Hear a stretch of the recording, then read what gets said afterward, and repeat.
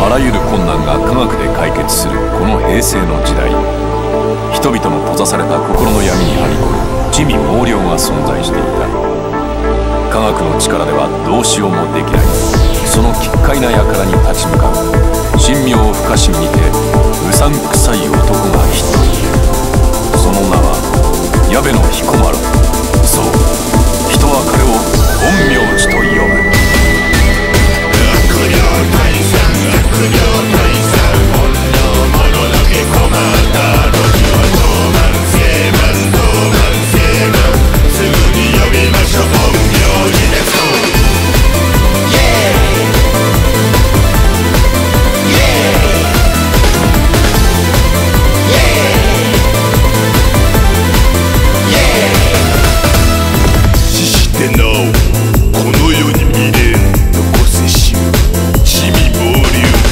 なり果てる。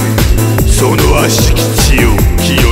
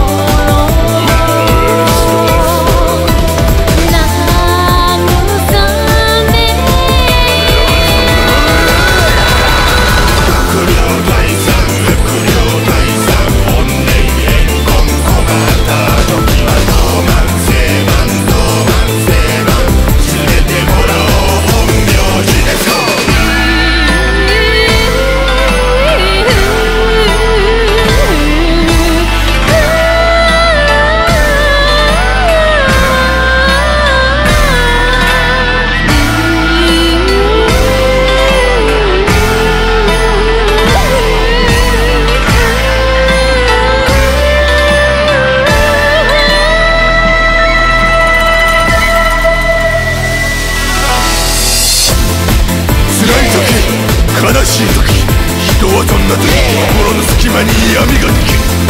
その心の闇に魔物たちは容赦なく入り込んでくるのだ。だから苦しくてもくじけるな。落ち込むな。くよくよするな。何事にも屈しない強靭な心こそが最